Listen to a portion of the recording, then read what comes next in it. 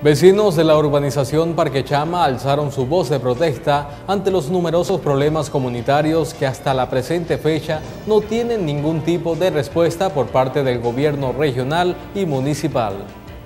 Vecinos y miembros del Consejo Comunal Parque Chama 2 realizaron un llamado a los diferentes organismos de seguridad y autoridades del municipio ante la ausencia de los servicios públicos en la populosa barriada. Les pido al ente gubernamental que tome cartas en el asunto, no dé la ayuda, que estamos en este tiempo que no pasa el, servicio del aseo urbano y, este, y estamos también sin gas, este, las personas están con las bombonas en la calle esperando día a día el gas y no, no pasa el gas, estamos cocinando con leña. Por favor, atiéndanos a este llamado de todo corazón que nos ayuden. Se ha pedido la ayuda a todos, hemos pasado informes y todavía estamos en espera.